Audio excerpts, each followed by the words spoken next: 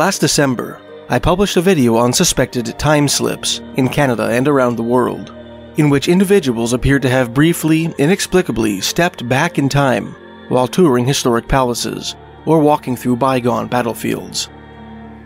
The most interesting of these stories, in my opinion, was the experience of Mr. Sam Thibeault of Quesnel, British Columbia, who related his own very mysterious childhood adventure to me back in early September 2021. Unfortunately, at the time I released that video, I didn't have any footage of the setting of Mr. Thibeault's story, namely a body of water in south central British Columbia called Courtney Lake, and so for the visual element of his story, I used footage of neighboring Nicola Lake, located about 20 minutes to the north, as well as the proximate Nikomin River. Very recently, I had the opportunity to visit the actual setting of Mr. Thibeault's experience and to take videos of Courtney Lake and the surrounding area. I thought you might enjoy revisiting Mr. Thibeault's chilling tale in its proper visual context, and so I've republished it here, with footage of the very lake in which it took place. Enjoy.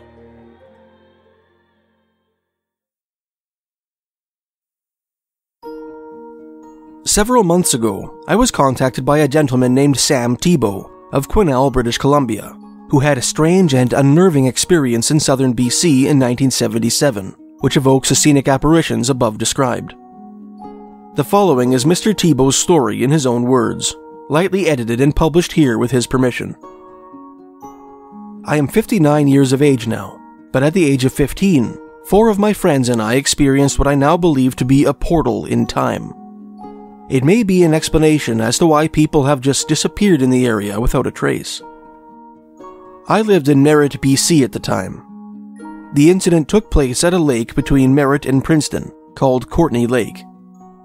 I believe it could shed some light on the unsolved disappearances in the British Columbia Triangle. I experienced this with four of my closest friends Rocky B., Tim C., John C., and if memory serves, Wade W. We were all around 15 to 16 years of age. I've told very few people, as most don't take me or us seriously. All I can say is that it did happen. We all saw it, and it scared the hell out of us. My friends and I often hitchhiked to different locations in and around Merritt, BC, mostly to explore, build forts, fish, and go swimming. We also explored abandoned mine shafts just south of town, where we would crawl under cave ins in order to come out into the main tunnels where the coal tracks were. On one of our weekend trips, we got a ride to a spot near Courtney Lake. I believe it was Rocky's brother Roger who dropped us off. The hike to our destination was a few miles or so, through some thick brush and heavily wooded areas. The old path was overgrown, but you could still make it out enough to follow it. This was the second time I came to this place with my friends. The road eventually led to a large open valley of grassland that stretched out in front of us. The valley stretched out as far as you can see, and eventually rounded a bend on the left and disappeared. You could see a well structured tree line across the valley that rolled up and down with the hills. When looking to the left, you could make out a few buildings in the distance, nestled up against the lake. I believe they were once used as layovers for cattlemen, driving their cattle through the area. There were a few rectangular bunkhouses with flat roofs, and a rectangular cookhouse built up against a small outlet from the lake. We made our way to one of the bunkhouses, in which we had stayed during our first trip to the lake. It had wooden bunks built into the walls, and nothing more. I chose the lowest bunk against the wall, which stands to your right when entering the building. I had brought my bow and arrows, and hung the bow above my bed on the wall. Once settled, some of us tried to catch fish for supper, while others sat around an open fire. Sometimes, when we saw bears and their cubs in the valley, we would chase them back into the trees. The incident happened sometime in the afternoon. What I find strange to this day is why we all decided to gather in the bunkhouse at that particular time, as there was plenty of daylight left and it wasn't time to bunk down for the night. It all started with some noise coming from outside the bunkhouse. We stood there looking at each other, wondering who could possibly be outside. The bunkhouse was made of logs, and its windows were covered with wooden shutters. I remember opening the door with my friends close behind me, and what we saw still stays with me to this day. Not because of what it was, but because it hadn't been there minutes before when we walked into the bunkhouse. There were cattle everywhere. I couldn't tell just how many, as there was a thick cloud of dust from their hooves. There were many cowboys that were riding around trying to keep the herd in check. Then one of the riders pulled in his horse sideways along the little path that led to the bunkhouse. The only thing between us were the remains of a very old wooden fence without a gate. The stranger looked directly at us. He sat tall in the saddle and was covered in dust. He had a rope in one hand, another tied to his saddle, and a rifle in a scabbard that jutted out visibly. His surprise at seeing us was very apparent. There was something very different about him. He was fully dressed, head to toe, in what we all grew up thinking cowboys looked like. Everything about him was rugged and hard, as if he'd been doing this for many years.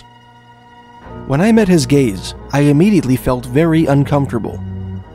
He continued looking at us for a few moments, while he got better control of his horse, as it was rearing up a little, as if it was frightened by our presence. He then jumped off his horse and started to walk towards us.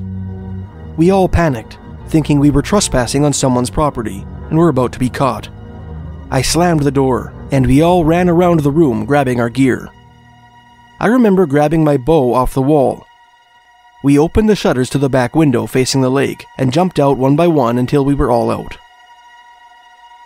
We ran towards the lake, then took a right and followed a small trail leading behind a small hill overlooking the area in which we were. I can remember sitting there all huddled together, wondering if they were following us and what kind of trouble we were in. After what seemed like five minutes, John C. and I believe Wade W ran up to the top of the hill we were hiding behind to get a better view and to see if they were in fact following us.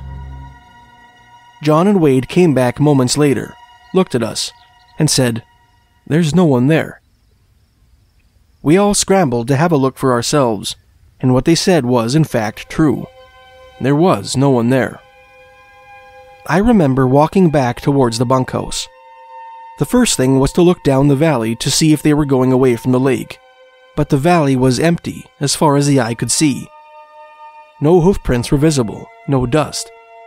It was as if no one was ever there.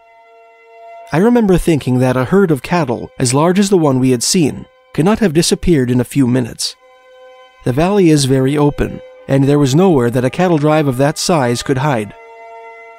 We all left and called it a weekend, unsure of what we had just experienced, but glad to get away. I've always wondered what might have happened if I had walked out to meet the cowboy at the end of the walkway leading to the bunkhouse. Would I still be here today, or would I be missing without a trace? I've come to believe that we encountered a portal in time. What we all witnessed was a once in a lifetime experience. Most of the boys I was with never told anyone about the experience, and some have passed on. One day, Rocky and his new wife came up north to visit my wife and I. While sitting around the fire, my wife asked Rocky if the strange adventure I'd been telling her about all these years was true and not some made up story. I remember Rocky's face going white. He said that he had never told anyone about that strange summer day in 1977. He went on to tell his memory of the event to my wife. When he was finished, my wife couldn't believe what she had just heard. His account was identical to my own recollection of what had happened to us all those years ago. After watching your British Columbia Triangle series on YouTube, I realized that Courtney Lake is within the triangle. I believe that when these portals in time appear, they are only there for a few minutes and then vanish along with anyone who walks into them. I've wanted to tell my story for years, but was just uncertain who to share it with.